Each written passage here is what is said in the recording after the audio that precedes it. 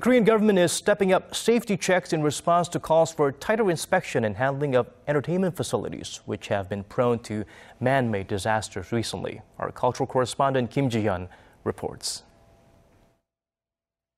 Safety first. That sentiment has gripped the nation after a series of shocking disasters over the past year. A family of five, including three children, died at a camping site last month when their tent caught on fire. 16 people fell to their deaths while watching an outdoor concert on top of a ventilation grate that collapsed, dropping them 25 meters. And of course, the tragic Sewol ferry incident that killed more than 300 people, mostly high school students. Many believe that systematic safety checks could have decreased or prevented the severity of these tragedies.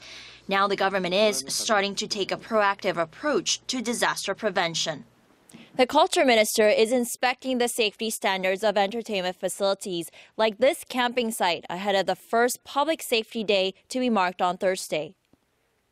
Currently, there are an estimated 1,900 outdoor camping facilities in Korea, with more opening and the numbers are growing rapidly. Some are even equipped with refrigerators and heating systems, but many of them lack adequate safety equipment such as fire extinguishers and hoses due to their unconventional settings.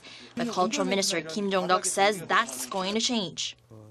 Outdoor facilities will be subject to periodic safety inspections and the Tourism Promotion Act, which took effect last January.